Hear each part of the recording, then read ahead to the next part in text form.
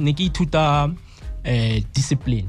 You know that thing of go discipline molomo. Yeah discipline ya molomo. You get excited and posting posting. Mm. You isa di-hopes tsa batho ko godimo mm. and then already really that thing of posting your song phela posting your song is like really releasing your mm. song. Literally, and then yeah. they're gonna re, eh, they're gonna record it and then by trial and then the time I etswa so I did it in an old school way. Or okay let me surprise people because even like I'll post a poster and then it's like judgment motho a botsa gore ha shota ka Ka qetella o ke Ah, down. And then you can doubt yourself, yes. small shota ka you know they were like hey distraction